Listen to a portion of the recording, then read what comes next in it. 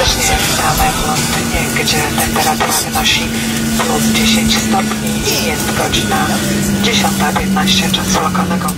Przyjechałam do Londynu, żeby podziękować Polonii, Polakom, którzy w ostatnich wyborach tu oddali na mnie swój głos. Dzień dobry. Witam serdecznie, witam serdecznie. Bardzo nam miło, zapraszam do nas. Dzień dobry, witam Panią serdecznie. Dzień dobry.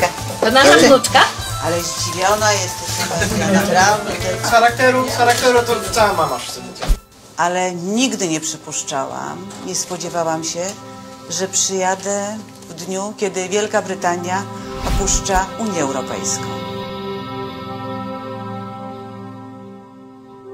Jako powiernik Zjednoczenia Polskiego Wielkiej Brytanii chciałem e, zostawić Pani egzemplarz listu, który wysłaliśmy parę dni temu do ambasadora rosyjskiego w imieniu polskiej społeczności Wielkiej Brytanii. Rosja po raz kolejny wprowadza fałszywe, nieprawdziwe informacje. Twierdzi, że my mieliśmy wpływ na wybuch II wojny światowej. Takie kłamstwa nie mogą być w przestrzeni publicznej i musi być dawany temu bardzo silny odpór. Historii nie wolno zakłamywać i także na tym pomniku tutaj też są słowa, że prawda jest najważniejsza.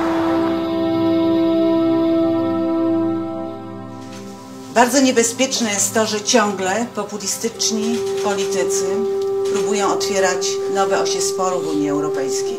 To jest bardzo niebezpieczne dla Polski, bo naprawdę obrażanie się na Unię to jest po prostu głupota i wielki błąd.